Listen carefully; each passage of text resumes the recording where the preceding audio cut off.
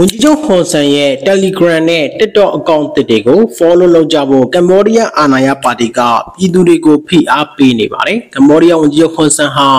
ဇွန်လနောက်ပိုင်းမှာ follower 14သန်းရှိတဲ့သူ့ရဲ့ Facebook အကောင့်ကိုဖျက်ပစ်ပြီးနောက်အာဏာရ CPP ပါတီကဟွန်ဆန်ရဲ့ Telegram နဲ့ TikTok အကောင့်တွေမှာ follow လုပ်ကြဖို့ចောင်းသားចောင်းသူတွေနဲ့ထောက်ခံသူတွေကိုဖိအားပေးနေပါတယ်။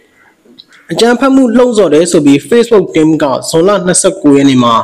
ဟွန်ဆန်ရဲ့ Facebook အကောင့်ကို6လပိတ်ကြောင်းကြေညာပြီးနိုင်အနေငယ်ကြမှာဟွန်ဆန်ကသူ့ရဲ့ Facebook အကောင့်ကိုဖျက်ပစ်ခဲ့တာဖြစ်ပါတယ်။အဲဒီနောက်ပိုင်းဟွန်ဆန်ဟာ Telegram ကိုသုံးခဲ့ပါတယ်။ follower တသန်းနီးပါးရှိလာခဲ့ပါတယ်။ဟွန်ဆန်ဟာ TikTok အကောင့်တစ်ခုဖွင့်ခဲ့ပြီး follower 2,200,000ကျော်ထိရှိလာပြီးဒီလအတွင်း Twitter ဘက်ကိုလှည့်လာပြန်ပါတယ်။ဇူလိုင်လလယ်မှာစက်သွေးဝန်ကြီးဌာနမှဝန်ထမ်းချို့ဟာဖလန်ပင်မြို့တော်ကတက္ကသိုလ်တစ်ခုကိုလာရောက်ပြီးဟွန်ဆန်ရဲ့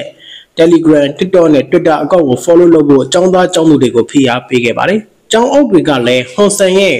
လူမှုကွန်ရက်အကောင့်တွေကို follow လုပ်တဲ့အကြောင်းသားအကြောင်းသူအရေးအတွက်ကိုပုံမှန်အစီအခံတင်ပြရတယ်ဆိုပါတယ်။တချို့လူစီကားရနေရာတွေမှာဆိုရင်လုံခြုံရေးတပ်ဖွဲ့ဝင်တွေကဖုန်းတွေကိုယူစစ်ပြီးအဲ့ဒီဖုန်းတွေထဲမှာ Honson ရဲ့အကောင့်ကို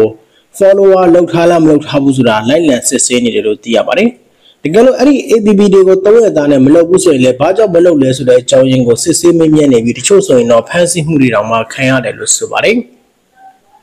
ဟွန်ဆန်အစိုးရဝန်ကြီးဌာနတွေနဲ့ဒေသခံစီးပွားရေးသမားတွေကလည်းမကြသေးမီသတင်းပတ်တွေကဟွန်ဆန်ရဲ့လူမှုကွန်ရက်အကောင့်တွေကို follow လုပ်ဖို့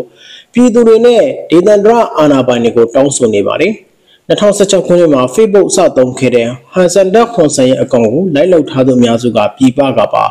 လူဦးရေ18တန်းပဲရှိတဲ့ကမ္ဘောဒီးယားနိုင်ငံမှာဟွန်ဆန်ရဲ့ Facebook အကောင့်ကို follow လုပ်ထားသူ14တန်းထိရှိနေပါတယ်။ဟွန်ဆန်ဟာ Facebook ကိုမသုံးတော့ပေမဲ့သတင်းအချက်လက်တွေမျှဝေဖို့ဝင်ကြီးဌာနတွေနိုင်ငံသားတွေနဲ့နာမည်ကျော်ပုဂ္ဂိုလ်တွေကသာ Facebook ကိုအသုံးပြုနေစေဖြစ်တယ်လို့ပြန်ကြားရေးဝန်ကြီးဌာနမှပြောရေးဆိုခွင့်ရှိသူကပြောပါတယ်။ဟွန်ဆန်ဟာရွေးကောက်ပွဲမဲဆွယ်စည်းရုံးမှုနဲ့အခမ်းအနားတွေတက်ရောက်တဲ့ရာချီတပ်ပေါ်တွေကိုတင်ဖို့ Telegram ကိုအဓိကသုံးနေပါတယ်။ခမည်းအနေနဲ့ဥပဒေကိုချိုးဖောက်ရင်အကျဉ်းတောင်ကအချိန်မီကြိုးဆိုလိမ့်မယ်လို့ဟွန်ဆန်ကပြောနေပါတယ်။